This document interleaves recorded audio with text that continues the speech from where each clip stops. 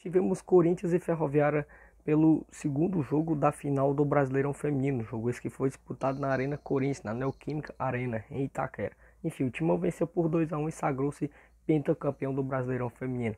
Mas é o que eu venho falar aqui é sobre a homenagem que a torcida corintiana fez antes do jogo para o técnico Arthur Elias, que assumirá o comando técnico da Seleção Brasileira Feminina de Futebol. Pois bem, a Pia foi demitida e tal, e aí a CBF acertou com o Arthur Elias, técnico multicampeão com o Corinthians no futebol feminino. O cara que vem fazendo um bom trabalho há um bom tempo.